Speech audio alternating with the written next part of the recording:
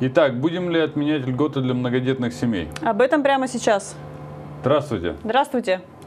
Сегодня в студии депутат областного собрания Екатерина Поздеева. И Александр Дятлов. А что это вы здесь делаете? В прошлый раз мы вас спрашивали, уважаемые телезрители, нужно ли дополнительно поддерживать многодетные семьи в Архангельской области. И вот какие результаты мы получили. 80% нужно увеличивать финансовую поддержку посредством введения новых льгот. 12% нет, нужно оставить все как есть, дополнительных мер не нужно.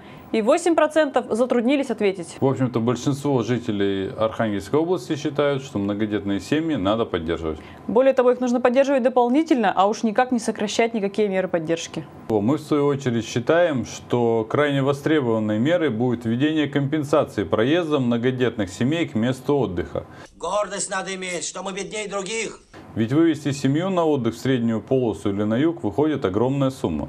А ведь оплатить надо не только билеты, но и проживание и даже питание. А такое обращение на федерального министра труда и социальной политики Топилина Максима Анатольевича мы вносим на предстоящую сессию Архангельского собрания. Когда я был маленьким, я тоже отдыхал в пионерских лагерях. Чтобы оплата проводилась до места отдыха на территории Российской Федерации. Это несправедливо. Я думаю, А ты меньше думай. В среду на сессии Архангельского областного собрания был принят в первом чтении законопроект, по которому отменяется льгота для чиновников об оплате отдыха за пределы Российской Федерации. ой, ребятки, что-то мне все это не нравится.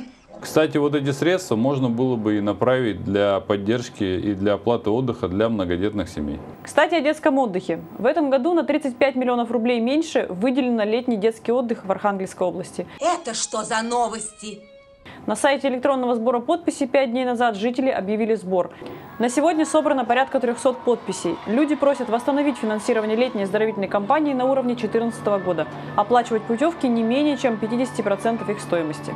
Кстати, муниципальное образование Архангельской области заложили прежние суммы на летний отдых, но в связи с тем, что из областного бюджета денег пришло гораздо меньше, они не могут выполнить полностью свои обязательства. Поэтому э, администрация города Северодвинска обратилась к правительству Архангельской области с предложением внести изменения в областной бюджет и увеличить размер субсидий муниципальным образованием на организацию детского отдыха до прежнего уровня.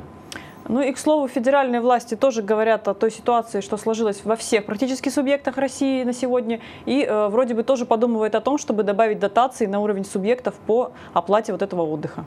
И еще одна, наверное, не очень приятная новость, вызвавшая резонанс на текущей неделе. С апреля инвалидам, проживающим в приватизированных квартирах, прекратили выплачивать компенсацию за содержание жилья. Отмена компенсации стала полной неожиданностью для нас, признаются в областной организации общества инвалидов. Самое печальное, что звонят в основном больные пожилые люди, то есть самые незащищенные. Люди в полной растерянности. К пенсии, как они говорят, добавили 600 рублей, но тысячу из кармана тут же вытащили. Ты меня в гроб вгонишь. На этой неделе в городе Северодвинске вел прием, и приходили представители общества инвалидов и, в общем-то, обращались с просьбой восстановить прежнюю льготу. По словам Николая Мякшина, председателя Союза общественных организаций инвалидов региона, несколько лет назад вопрос подобный тоже обсуждался бурно, но тогда удалось убедить власти сохранить льготу по содержанию жилья для тех граждан с инвалидностью, кто приватизировал свою квартиру впервые. Мы пришли к соглашению, что сделать это нужно, по крайней мере до тех пор, пока не закончится период приватизации в стране. И по март 2016 года эта льгота действовала. Напомним, приватизацию жилья в России продлевали несколько раз. В начале сроком ее окончания называли 1 марта 2007 года, затем 1 марта 2010 года, 2013 года. После дату передвинули еще на два года. Но и в 2015 году приватизация не была завершена. Сроки опять сместили на год. И вот теперь вышел новый федеральный закон, согласно которому определен уже новый срок 1 марта 2017 года. Но раз приватизацию продлили, то наши инвалиды считают, что соответственно должны продлить и выплату этой компенсации. Подняли! Оттянули! Стоп! Хорош! Крепи! Вообще тенденция настораживает. То есть э, только в нашей передаче мы обсуждаем темы, где пытаются сократить льготы для многодетных семей, льготы для детей, которые едут отдыхать, и льготы для инвалидов.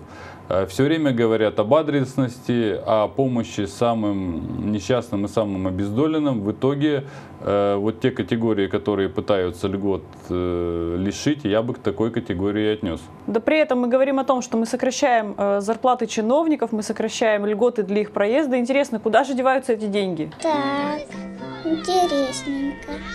Сейчас как раз публикуют декларации, э, в частности и федеральные чиновники. Так вот, у всех федеральных чиновников практически в этом году зарплата выросла. Так вот, самые достойные пройдут круг почета в маскарадных костюмах. Более того, Москва стала третьим в мире городом по количеству миллиардеров. Может, деньги уходят в этом направлении? А сегодня уплыл на остров. Я думаю, что федеральным чиновникам пришло время поделиться с простым народом для того, чтобы они смогли спокойно и нормально выжить в этой ситуации кризиса. Поделиться своим опытом, каким образом э, в стране у людей все льготы отменяются, а благосостояние наших федеральных чиновников, тем не менее, продолжает расти. Что не день 100 грамм, что не день 100 грамм, а то и 150. При этом все жалуются, что вроде бы кризис и зарабатывать стало гораздо сложнее.